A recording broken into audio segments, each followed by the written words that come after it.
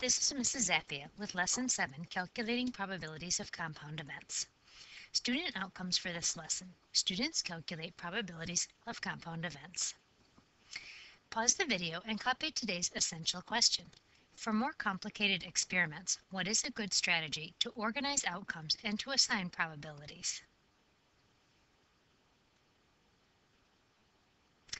A previous lesson introduced tree diagrams as an effective method of displaying the possible outcomes of certain multi-stage experiments.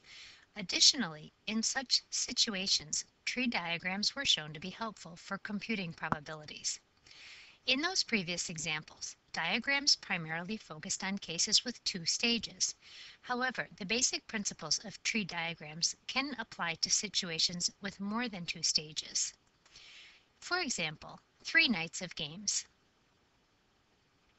Recall a previous example where a family decides to play a game each night and they all agree to use a tetrahedral die, a four-sided die in the shape of a pyramid where each of the four possible outcomes is equally likely, each night to randomly determine if the game will be a board game or a card game. The, the tree diagram mapping the possible overall outcomes over two consecutive nights was as follows. But how would the diagram change if you were interested in mapping the possible overall outcomes for three consecutive nights? To accommodate this additional third stage, you would need to take steps similar to what you did before. You would attach all possibilities for the third stage, which would be Wednesday, to each branch of the previous stage, which is Tuesday. So then your tree diagram would look like this you would have a first stage of Monday, and your outcomes for Monday would be either board game or a card game. Then your outcomes for Tuesday, you would either play a board game or a card game, but you attach it to Monday's outcome as well. So you attach it to a board game for Monday and a card game for Monday. Then, when you attach the third stage for Wednesday, you attach the board game and the card game to every previous outcome from the previous stage. So you attach it to these four outcomes. And you do board game and card game from each one. Then your outcomes are BBB, which stands for board game, board game, board game. That would be board game on Monday, board game on Tuesday, and board game on Wednesday. The next one would be a board game on Monday, a board game on Tuesday, and a card game on Wednesday. If BBB represents three straight nights of board games, what does CBB represent? Well, the C represents cards on Monday. The B represents a board game on Tuesday.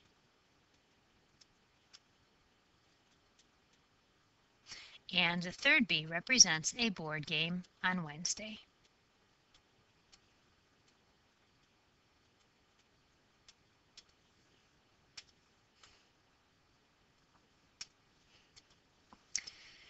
List all outcomes where exactly two board games were played over the three days. How many outcomes were there? Okay, so we want exactly two board games. We can look at the chart below. So BBB does not qualify because there are three board games. BBC qualifies, BCB qualifies. BCC does not qualify because there's only one.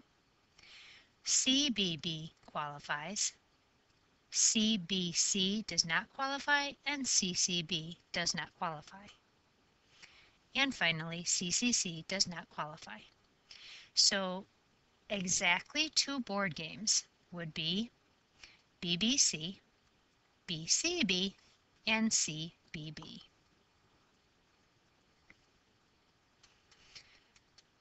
BBC, BCB, and CBB. Question 3. There are eight possible outcomes representing the three nights. Are the eight outcomes representing the three nights equally likely? Why or why not? If you remember from the previous lesson, the probability of cards is not the same as the probability of a board game because if you land on a 1, you play cards. If you land the dice on a 2, a 3, or a 4, you play a board game. So the probability of landing on a 1 and playing cards is 1 fourth. The probability of landing on a 2, a 3, or a 4, each of those is also 1 fourth. And together, the 1 fourth plus the 1 fourth plus the 1 fourth equaled 3 fourths. And that equaled 0.75. So the probability of playing cards is 0.25 and the probability for playing a board game is 0.75. So then it says, are the eight outcomes representing the three nights equally likely? Why or why not? We know that the probability of playing a board game is not the same as the probability of playing a card game. As a result,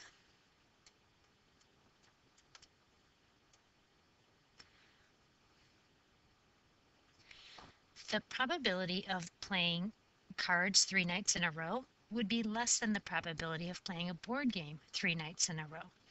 And so they're not equally likely. So as a result, the probability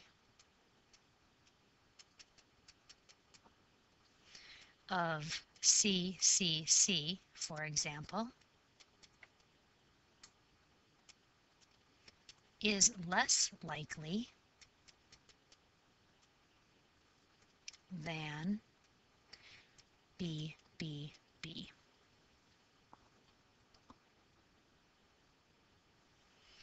Again, we can see that in the chart below here. The probability for BBB is 0.75 times 0.75 times 0.75 and that equals 0.421875 and the probability for all cards is 0.25 times 0.25 times 0.25 which is not the same answer. Example 2. Three nights of games. In the example above, each night's outcome is the result of a chance experiment, rolling the four-sided die. Thus, there is a probability associated with each night's outcome. By multiplying the probabilities of the outcomes from each stage, you can obtain the probability for each branch of the tree. In this case, you can figure out the probability of each of the four eight outcomes. For this family, a card game will be played if the die lands showing a value of 1, and a board game will be played if the die lands showing a value of 2, 3, or 4. This makes the probability of a board game on a given night 0.75. Let's use the tree diagram to examine the probabilities of the outcomes for the three days. Probabilities for two of the eight outcomes are shown. Calculate the approximate probabilities for the remaining six outcomes. For our next outcome, BBC, the probability of B is 0.75. The probability of B is 0.75. And the probability of C is 0.25. So when you multiply those numbers together, that will calculate the probability for this branch. And that gives us 0.140625. Next, we have BCB, and that's 0.75 for the board game, 0.25 for the card game, and 0.75 for the board game. And that also gives us a product of 140625. BCC, board game, 0.75, card game, 0.25, 0.25 and the product is 0.046875. Pause the video and finish finding the probabilities for the remaining three branches. Resume the video when you're ready to check your work.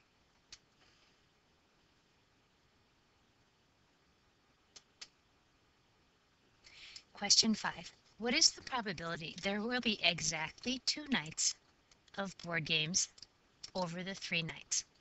So any combination that has two B's in it. Looking back at our list, I'm going to erase these and then take a look.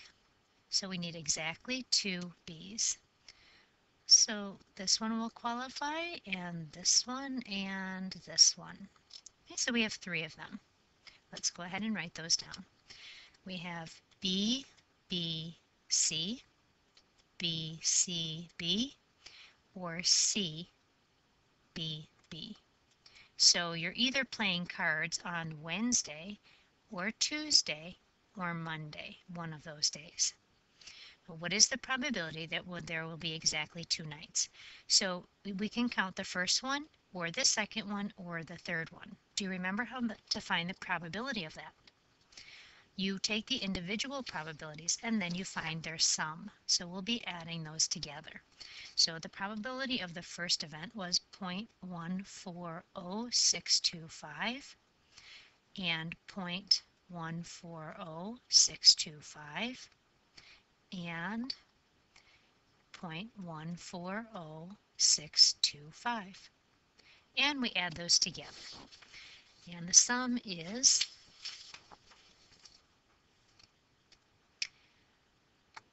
Point four two one eight seven five. So the probability is less than half. Question 6. What is the probability that the family will play at least one night of card games? Let's take a look at our tree diagram. And we want any night that has a C in it. So we have this one and this one and this one and this one and this one and this one and this one. So they all have a CM except this one. So if we count all of these except the first one, that would be similar to something we learned in a previous lesson. An efficient way to find the probability would be to take 1 and subtract the probability of this event. So we have one outcome that doesn't work. When you want the probability of everything but that one, it's 1 minus the one that is not, if you remember that from a previous lesson. So the one that was not counting is the BBB outcome. And the BBB outcome had a probability of 0.421875. So this is the probability of playing board games all three nights. And if you're not playing a board game all three nights, you're playing cards at least once. So we subtract that and we get a probability of 0.578125. So the probability that you are playing cards at least one night is a little bit more than half. 0.5 would be half. Exercises 7 through 10.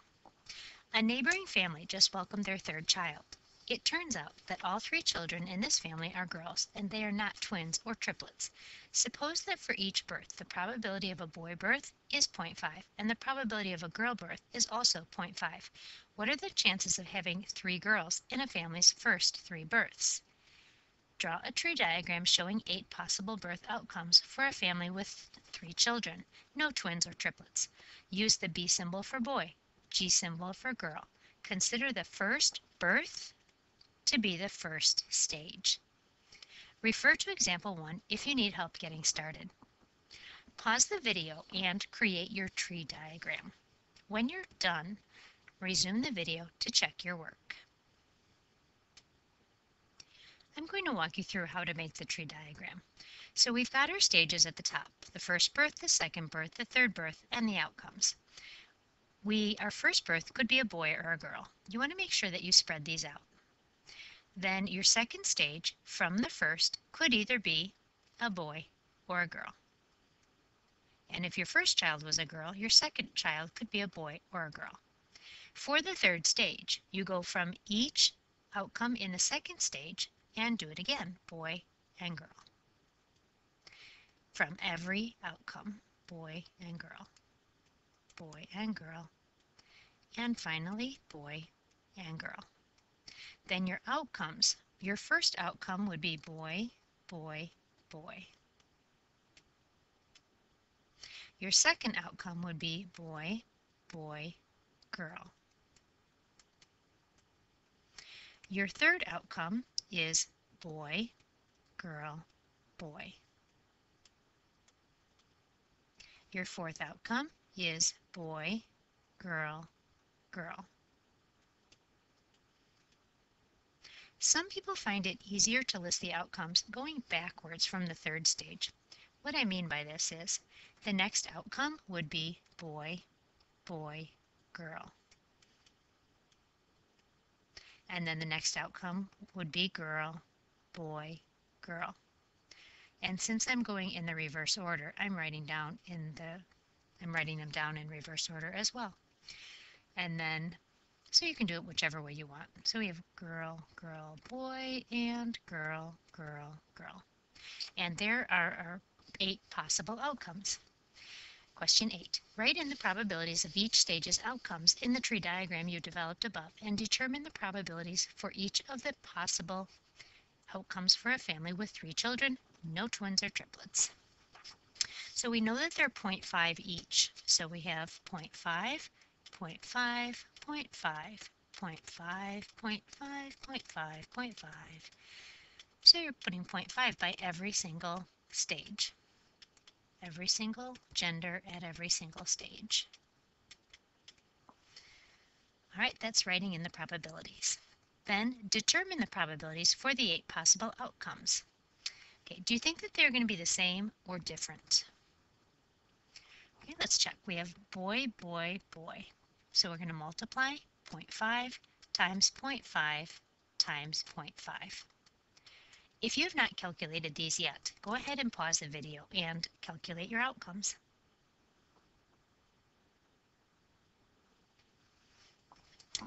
So we have 0.125 and then we find the exact same outcome or probability for the next outcome, and that's 0.125. Let's make sure the decimal is in the right spot.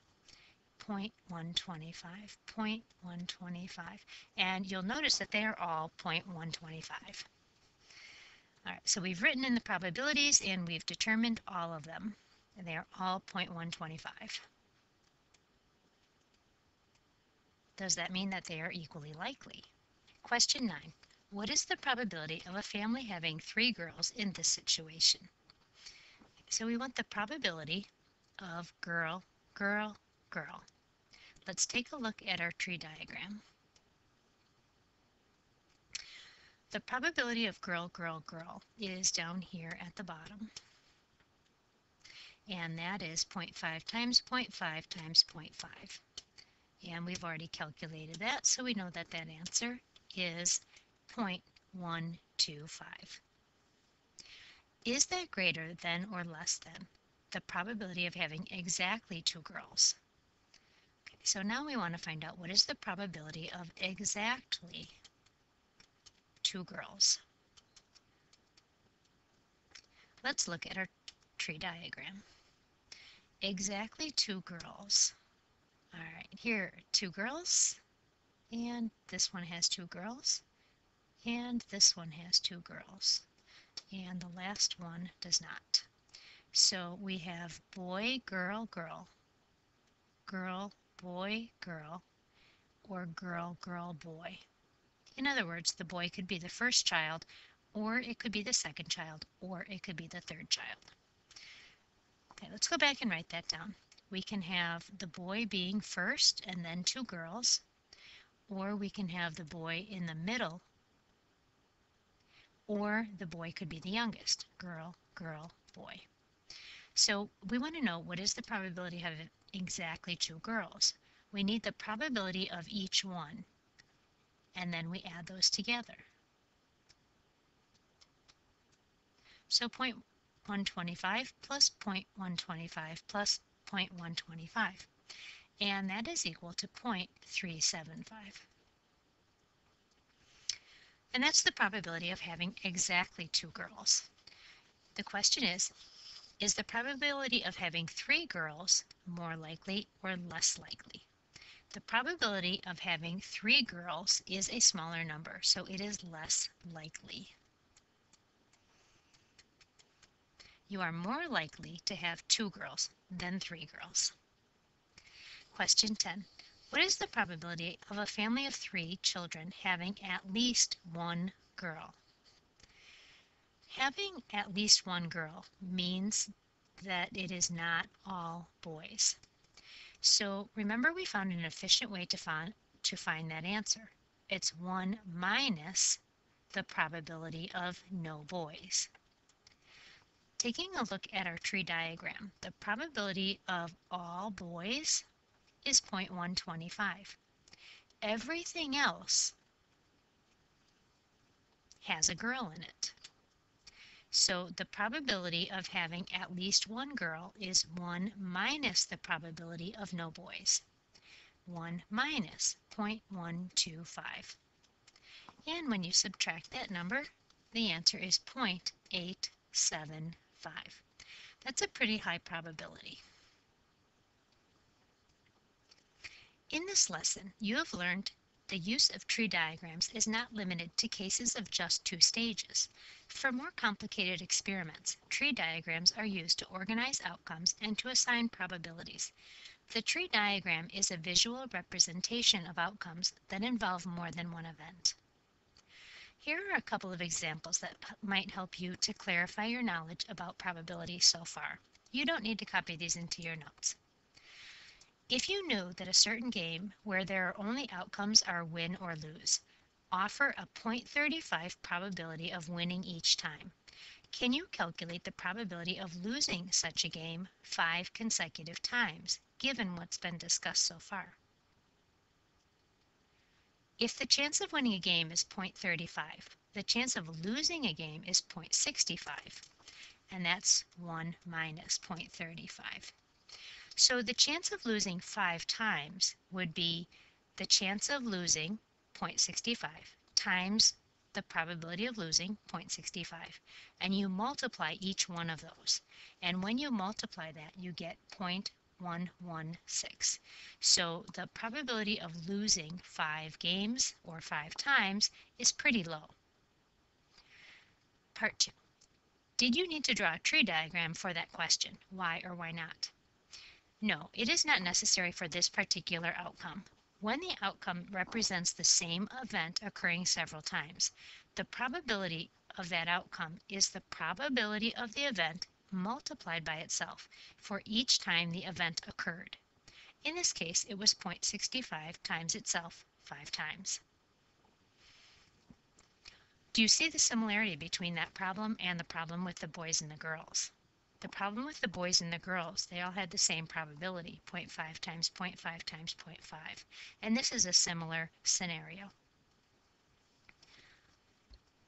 What are the chances of winning at least once in those five games? If you win at least once, the only outcome you avoided would be losing five times. So all the other outcomes would be valid, and the sum of all of their probabilities would be 1 minus 0.116, which is equal to 0.884. So there's actually a good chance you would win at least once over five games. So you want to keep in mind that strategy of 1 minus the event not happening. It's an efficient strategy to use in certain cases.